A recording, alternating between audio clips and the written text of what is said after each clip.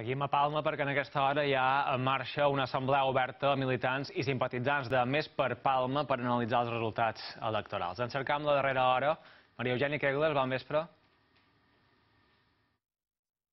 Bon vespre. Com veuen, a la meva esquena segueix en marxa aquesta assemblea de Més per Palma.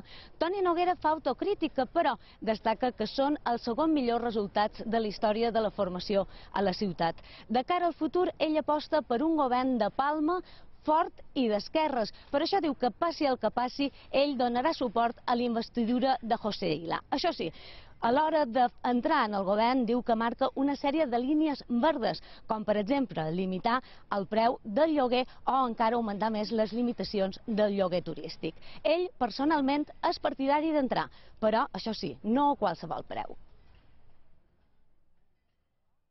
Som partidari d'entrar, sí, verdaderament, aquests temes programàtics que, que vos he dit eh, s'acompleixen. Eh? Vull dir, el que no faré és entrar gratuïtament a un govern que no serà valent i no aplicarà mesures valentes. No? Això està clar. Eh, si volen que sigui un govern d'esquerres, govern d'esquerres valent.